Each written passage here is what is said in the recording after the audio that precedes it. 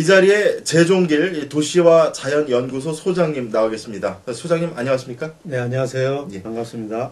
어, 먼저 이 경기방송 청취자 여러분께 인사 말씀 부탁드리겠습니다. 경기방송 청취자 여러분 안녕하세요. 저는 안산에 있는 도시와 자연연구소 소장 재종길입니다. 반갑습니다. 이 도시와 자연 연구소 이 어떤 분야를 연구하고 또 이 정책적 대안을 제시하는 곳인지 좀 궁금합니다. 연구소 좀 소개를 좀 해주신다면요. 예, 이름 그대로 도시와 자연의 조화로운 공존, 예. 균형을 맞추려고 하는 연구소입니다. 그래서 도시 개발과 자연 보존 사이에 발생하는 갈등을 해소하는 정책 대안이라든지 실제로 갈등의 현장에 가서 그분들과 대화해서 실제로 개발자와 또 보존주의자 사이의 절충점을 찾아내는 일들을 지난 한 6년간 했고요.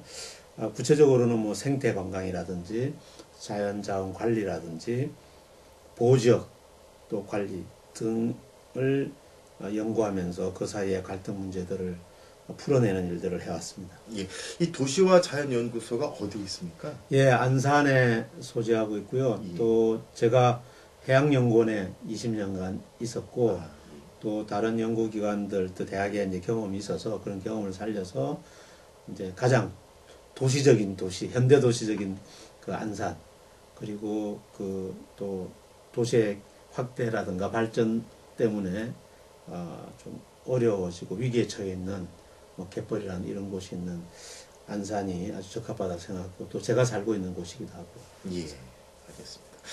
어, 실제로 이 우리나라와 이 도시의 기- 개발 역사를 좀 지켜보시면서 좀 이런 부분을 좀 고쳐져야 된다 이렇게 생각하는 건 어떤 거가 있으십니까? 우리나라가 도시 발전을 너무 급속하게 해왔죠. 음. 불과 한 3, 40년 만에 어, 도시의 비중이 인구로 보면 한 30%에서 90%까지 뭐 이렇게 커짐으로 해서 도시가 체계적인 계획 없이 세워진 것이죠. 그러니까 너무 건물 위주라든지 또 규모 위주로 예. 큰 건물이 있다, 뭐 인구가 얼마다, 뭐 건물이 몇 채가 있다 이런 형태로 도시를 개발하다 보니까 자연과 환경 그리고 사람 도시가 균형 잡을 수 있는 기회가 없이 와버린 거죠. 그래서 이제 많은 시장님들이 또 지자체 장님들이 그런 걸 개선하려는 노력들을 하고 있는데 원체 그렇게 와버리기 때문에 개선하는데도 이제 돈이 많이 드는 거죠. 그래서 이제 최근에는 그것을 개선하면서도 어, 자금이 덜 드는 그런 방식들이 없는가 이런 연구들이 이제 각 시정 연구냐 이런 데서 이제 초점을 맞춰서 하는 연구이기도 합니다. 그래서 이제 도시 속에 자연을 좀 집어넣는다든지 도시 그전에는 산업단지라든지 또 회사가 많이 들어오면 도시가 발전하는 것으로 알고 있지만 최근에 여러 연구에서는 환경도시나 생태도시가 훨씬 일자리도 많아지고 예. 또 경제 성과도 있고 또 자산 가치 자산 가치라고 좀 어, 시청자분께서 이해가 선뜻 안 되시겠는 땅값 예. 이런 측면에서도 자연이 들어와 있고 환경이 좋은 곳이 더 좋아지지 않습니까? 특히 전원주택이라든지 이런 곳들은 되게 자연이 좋은 곳으로 가려고 하고 있고 도시 내에서도요. 그렇기 때문에 비록 이제 서민들이 많은 곳에서도 자연을 이렇게 집어넣고 확대시킴으로써 도시의 균형 발전과 아울러 시- 시민들의 삶의 향상 그리고 자산 가치 같이 높일 수 있다 생각되는데 그래서 이제 제일 먼저 개선해야 될 점은 도시의 이제 병리 현상, 도시의 문제점을 파악하고 이 병리 현상을 고치는 그 방안을 내어놓아야 되는데요. 그 방안들이 제가 볼 때는 자연을 얼마나 집어넣는지, 또 시민들의 건강을 어떻게 회복시키는지, 또 만족감을 어떻게 늘리는지 이런 걸 통해서 총체적으로는 그 시민들의 행복감 고치의 목적이 있다고 봅니다. 그러니까 환경 생태적인 분야에서 획기적인 좀 예. 개선이 돼야 예. 된다는 말씀이시죠? 물론 그것이 환경 생태뿐만이 아니고 그것을 통해서 산업 발전도 도모하고 문화도 어, 활발하게 시켜서 그래서 이게 그런 그 본인 삶의 질이 높아지면서 문화가 활발하게 진행되어서 창의력, 새로운 역동적인 창의력이 생기면 도시의 산업, 일자리 이런 데도 도움이 된다고 봅니다. 이것은 대규모 개발 사업이라든지 또 일자리 창출하기 위해서 억지로 뭘 공사를 한다든지 이런 것이 아니고 분위기 개선을 통해서 그리고 저 작은 경비로 조금씩 움직이면서 도시의 활력을 추구하고 그것이 결국 일자리나 경제도 활성화시킨다고 보는 겁니다. 예. 어, 계속해서 말씀하시는 게, 그 환경 생태적인 분야, 그리고 지금 그, 소장님께서 지금 말씀하시는 그 부- 분야가 이 도시와 자연, 예. 예, 이 분야인데, 그쪽에 많은 활동을 한 것으로 또 알고 있습니다. 이 급속한 이 산업화와 이 도시화로 이 환경 생태 분야가 좀 상대적으로 좀 소외되어 오지 않았습니까? 이 환경 생태 분야에서 어떤 이 정책적인 변화가 좀 있어야 되겠습니까? 그러니까 이제 예를 들면 아파트를 지을 때 예.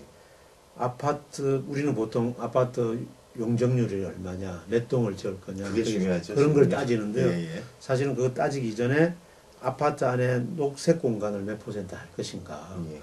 그리고 나서 이제 용적률 계산해서 높이면 결국 전체 용적률로 보면 같이 같을 수가 있거든요. 그러나 녹색 공간을 넣을 거냐 안 넣을 거냐 예. 이 생각을 많이 해야 돼. 우리가 어떤 도시들은 녹색 지대가 많다 이렇게 자랑을 하긴 하지만 그 녹색 지대는 저 멀리 있는 산을 얘기하는 게 아니거든요. 내가 걸어서 갈 수 있는데 거리로 따지면 되게 한 250m에서 300m에 우리가 편히 쉬고 가서 편안히 안정을 취할 수 있는 그런 녹색 공간이 있는가 없는가 하거든요. 예. 그런데 그런 아파트들이 일정한 녹색 공간을 계속 유지하고 있다 그러면 이 전체 아파트가 갖는 그 가치 그리고 이 주민들이 갖는 행복감 이런 것들은 높아질 거라고 보거든요. 근데 이것이 단순히 아, 그 한국에서는 실현하기 어려운 거 아니냐 이런 얘기가 있을 수 있지만 뭐 울산이라든지 또 수원도 이제 그런 시도가 있는 것으로 알고 있고요. 이런 그 도시들은 그런 일들을 이미 하고 있어서 되게 이제 그런 것을 하고 있는 도시는 옛날에 시- 주민들이 빠져나갔다가 다시 돌아오고 있거든요. 그러니까 우리 고장에 살아라 얘기는 하기 어렵지만 우리 고장이 좋다라고 얘기는 할 수 있거든요. 그러면 우리 나갔던 인구들도 돌아오게 되고 또 거기 삶에 만족이 되면 도시에 활력이 돌고 또 산업도 발전하고 이럴 거라고 봅니다. 어, 이 소장님께서는 17대 국회의원 활동을 하셨습니다. 그 국회에서도 이 환경 생태 분야에 좀 관심이 많으셨다고 알고 있는데요. 예, 제가 4년 동안 환경노동위원회만 있었습니다. 예. 그래서 이제 저희가 환경노동위원회에 있으면서 많은 분들이 환경을 규제라고 생각하는데 기업도 돕고 우리가 주민들도 돕고 또 주민들의 특히 건강, 환경위생 부분에도 많이 신경 쓰고 특히 이제 저희가 우리 시민들이 국립공원이라든가 자연 지역에 자주 가기 위해서 입장료 무료를 하든지 그다음에 대기오염 방지법이라든지 실제로 기업 입장에서는 대기오염을 줄이려고 하면 설비도 들어가서 어려움이 있지만 또 시민들은 그걸 대기오염이 있으면 건강에도 문제가 되고 그렇죠. 또그 산업단지나 지역 시- 시 자체가 전체적으로 부정적인 임- 이미지에 휩싸이는 거거든요.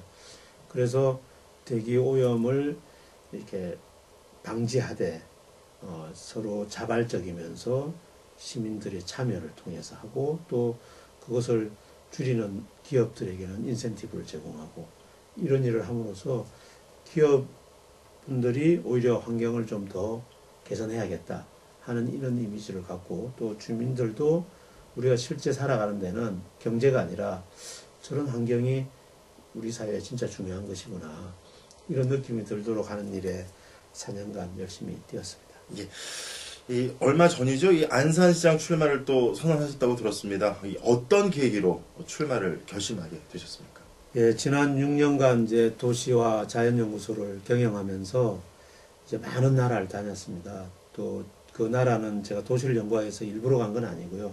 회의 참석이라든지 또 제 업무 때문에 간 출장이라든지 또 어떤 경우는 필리핀 같은 경우는 제가 그 지역의 어떤 갈등 문제도 좀 해소하는데 또 뭐 아프리카의 가나라든지 필리핀은 또 그런 문제를 도움을 드리기 위해서 어, 갔었는데요.